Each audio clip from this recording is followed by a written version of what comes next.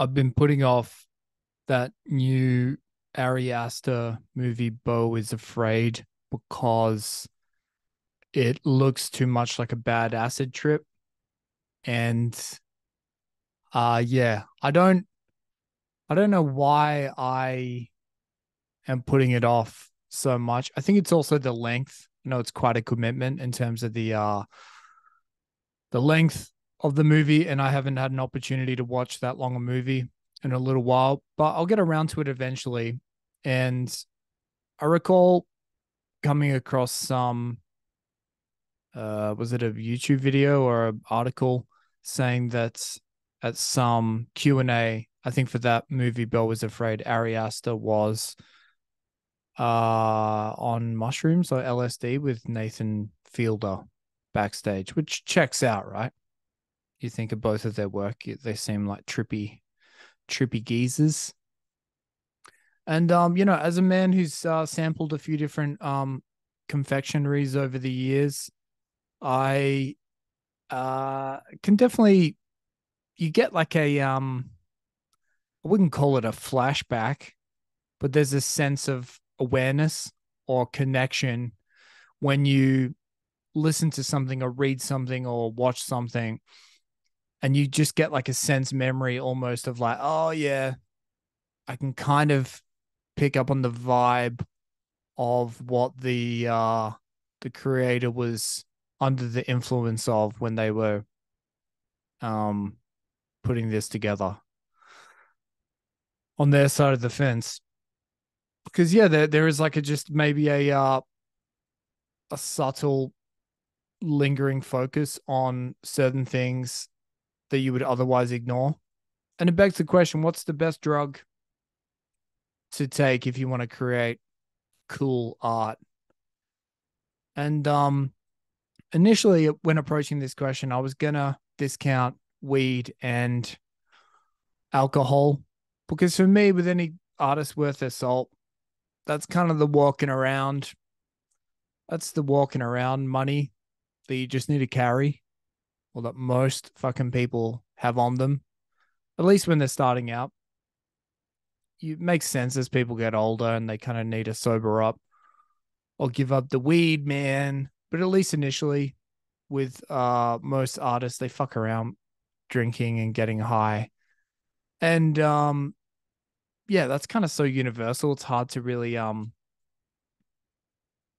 pinpoint it that much although i do find it interesting when you find out about like uh artists who are typically known for other drugs and then you find out that they had like a brutal um brutal drinking problems like one that springs to two jam bands actually spring to mind is like Jerry Garcia. It actually think I think it was when he was trying to kick heroin, he became like a brutal alcoholic for a while.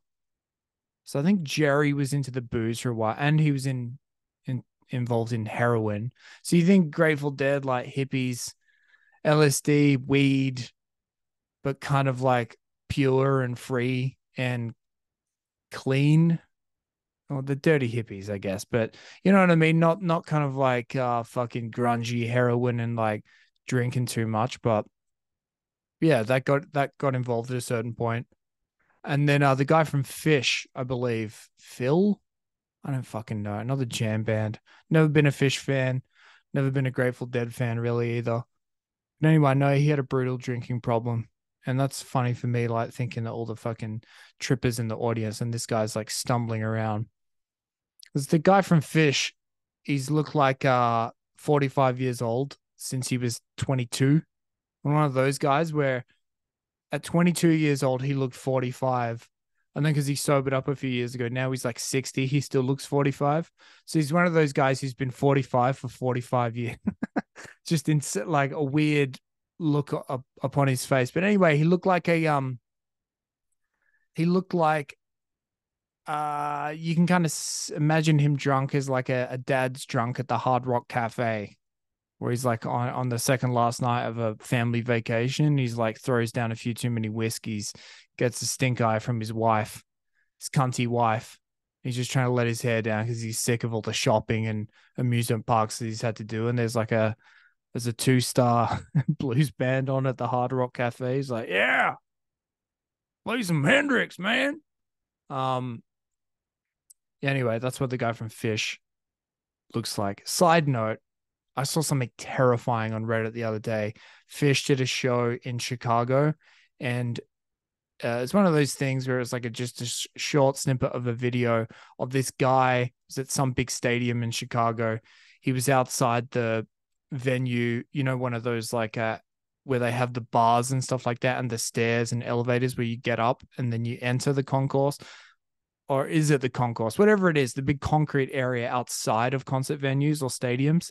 This guy was running around there and the, uh, around all these people who were grabbing a beer or going to the bathroom and he was bleeding from um both eyes. He'd apparently gouged out both of his eyeballs while watching Phish because he was completely tripping his balls off, and uh, yeah, had, had freaked out and gouged his eyeballs out, and then he was like just running scared, scream. I'll never forget the yelps and screams that he was letting out as he was like literally running straight into walls and stuff in this blind panic. This big fucking bulky looked to be in his 30s, just this like tech bro looking dude who'd uh, lost both of his eyes evidently at the Phish concert, which is fucking terrifying.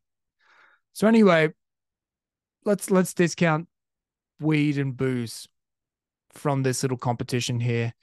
So it comes down to psychedelics, heroin, uh, cocaine, and I think heroin has to take the crown, right? Like just in terms of the depth of emotion and the kind of um although I guess you could say that with heroin art, it's all kind of a bit samey. Like the uh just the sense of kind of like uh everything's cool. You know those bands um Spacemen 3 and uh Spiritualized.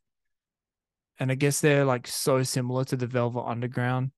I guess Nirvana took heroin in a slightly different direction.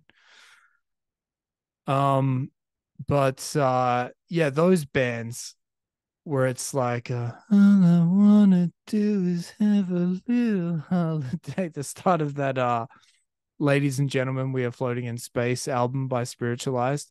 That album should come with like a uh, warning. Will will make you want to take heroin. Warning label like Paxa smokes tell you that pregnant pregnant ladies shouldn't be fagging it up. Um, so maybe that's the issue with heroin, right? Is that it's too similar. Cocaine. What's been like Scorsese went went on a bit of a run there, made some good fucking movies. Goodfellas feels like it was made on cocaine, but in a good way.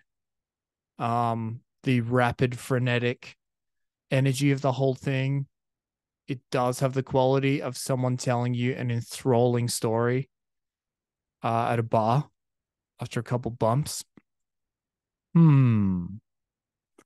Yeah, and then psychedelics and stuff like that. Then you start getting into the realm of uh what are those kind of like really fucking trippy uh you know those oh, Jesus Christ, what are they called? Where it's like Ma- Maleka or something. Malek, that movie fuck. This is not this is not helping. Noel Gallagher's high flying birds checked one of them on one of his recent Who Built the Moon? Holy Mountain. That's it. Holy Mountain movie. Who the fuck was that guy? Movie. Alejandro Jodorowsky, who is from Chile. Uh yeah, he made a bunch of those fucking strange, trippy movies. So yeah, I don't know. Fucking hell. This is a tough one. Yeah, you know what? I'm gonna I'm gonna go out on a limb here and say cocaine because I feel like uh with psychedelic, no, it's got to be all the fucking cool Beatles stuff and I think I'm gonna go with LSD is the is the drug that helps create the best art.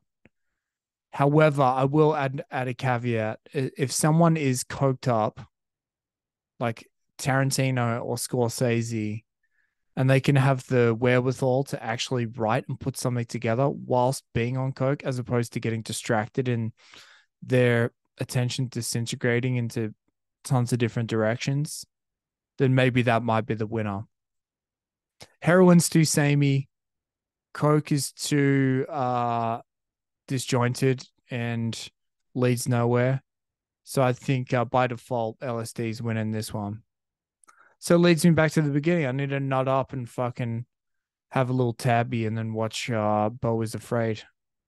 We're gonna be a big man. All right. Let me know your thoughts. Have I gotten this completely wrong? Let me know, please. All right, catch you on the next one. Bye.